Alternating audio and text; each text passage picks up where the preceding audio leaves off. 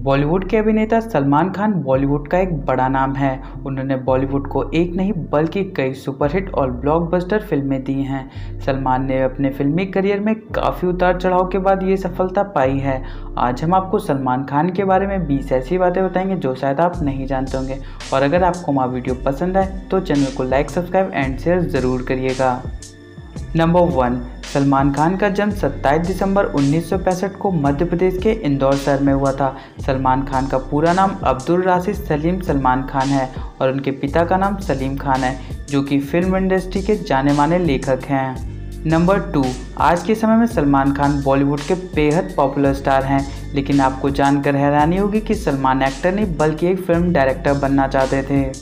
Number three Salman ने अपनी फिल्मी करियर की शुरुआत 1988 में फ़िल्म बीबी हो तो ऐसे से की थी। इस फ़िल्म में उन्होंने एक छोटा सा सपोर्टिंग रोल की भूमिका निभाई थी। हालाँकि यह फ़िल्म बॉक्स ऑफ़िस पर हिट नहीं हुई, लेकिन फारूक शेख और रेखा जैसे सितारों के बीच सलमान ने लोगों का ध्यान अपनी ओर आकर्षित करने में सफल रहे। नंबर फोर 1989 में एज अ हीरो सलमान की पहली फ़िल्म मैंने प्यार किया रिलीज़ हुई। उस समय फ़िल्म के डायरेक्टर्स को भी इस बात का अंदाज़ा नहीं था कि यह फ़िल्म सुपरहिट साबित होगी। इसलिए सलमान की इस फ़िल्म में प्रिंट्स का खर्चा बताते हुए बहुत कम प्रिंट्स और प्रचार के साथ इसे कुछ ही जगह रिलीज़ किया गया। बाद में जब यह फ़िल्म सुपरहिट साबित हुई तो इस फ़िल्म में प्रिंट्स की संख्या बढ़ाई गई। नंबर फाइव बॉलीवुड के मोस्ट एलिजिबल बैचलर कहे जाने वाले सलमान खान आज सिंगल नहीं होते, अगर संगीता बिजलानी से उनकी शादी हो गई होती। दरअसल संगीता बिजलानी और सलमान खान साल 1986 में एक दूसरे के करीब आए और करीब आठ साल तक एक दूसरे को डेट किया और बात यहाँ तक पहुँच गई थी कि शादी की तारीख भी तय हो चुकी थी और शादी के कार्ड भी छप चुके थे।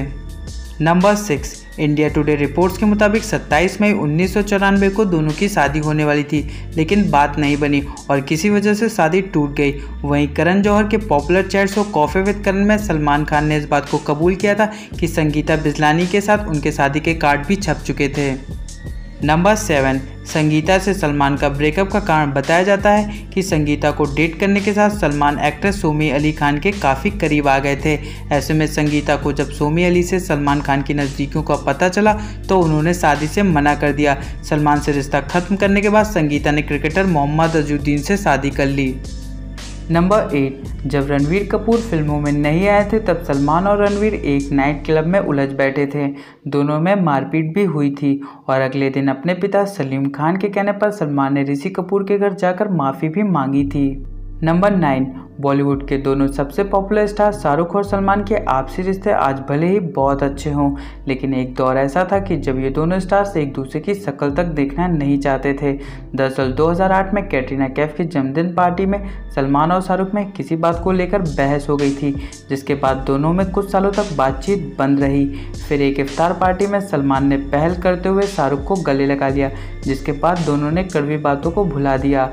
इसके बाद सलमान के शो बिग बॉस में शाहरुख अपनी मूवी दिलवाले का प्रचार भी करने गए थे। नंबर टेन सलमान की एनजीओ बीइंग ह्यूमन के होते हुए भी सलमान अभी भी से कई अलग चैरिटी वर्क करते हैं। जैसे 2012 में यूपी में एक शूटिंग के दौरान उन्हें पता चला कि जेल में कई ऐसे लोग हैं जिन्होंने अपनी सज़ा तो पूरी कर ली है, लेकिन पैसे ना होने की वजह से वो अपना जुर्माना नहीं भर पा रहे हैं, जिसके कारण उन्हें जेल में ही रखा जा रहा है।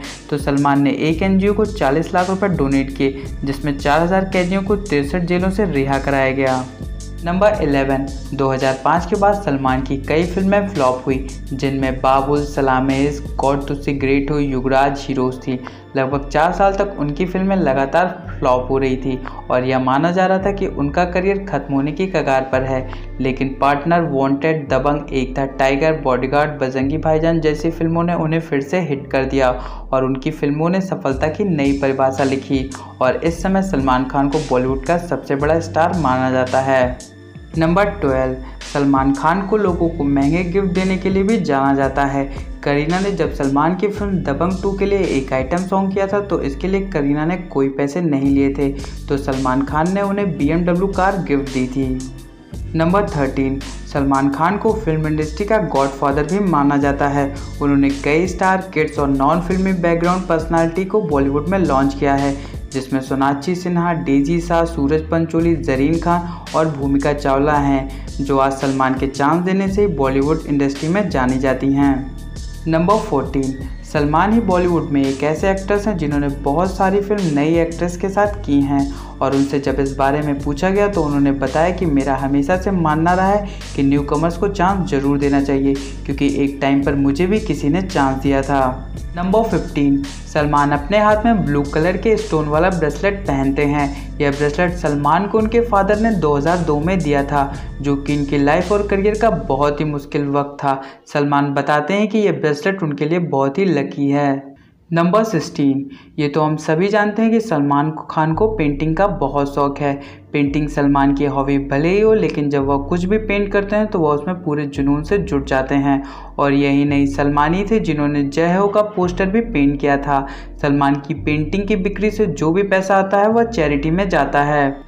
नंबर सेवेंटीन विवादों से भी सलमान का खास नाता रहा है। 28 सितंबर 2002 में मुंबई में उनकी कार ने फुटपाथ पर सोए हुए चार व्यक्तियों को कुचल दिया था, जिसमें से एक की मृत्यु हो गई थी।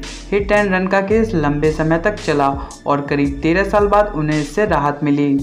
नंबर 18 सलमान खान को फ़िल्मों में किसिंग सीन देना पसंद नहीं, क्योंकि उनका कहना है कि इस तरह के सीन्स के कारण परिवार के साथ फ़िल्म देखना मुश्किल हो जाता है, और यह उनका खुद का अनुभव है। नंबर 19 सलमान को सोप कलेक्ट करने का बहुत शौक है। उन्हें हर्बल और एंटीऑक्साइड सोप इतने पसंद है कि जब भी वो फॉरेन ट्रेवल करते हैं तो वह उस जगह से सोप ज़रूर खरीदते हैं।